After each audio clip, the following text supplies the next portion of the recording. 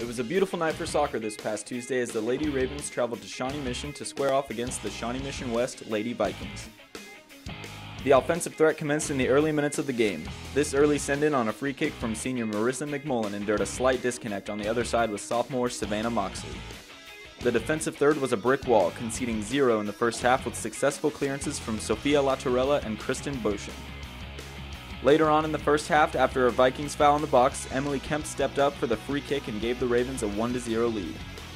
Running into the second half with the lead, the Raven offense connected to score early on and double their lead, making the score 2-0. Another aggressive 30 minutes played, the Ravens conceded a free penalty kick goal, but the Vikings' effort wasn't enough to take down the undefeated powerhouse, your ONW Lady Raven soccer team.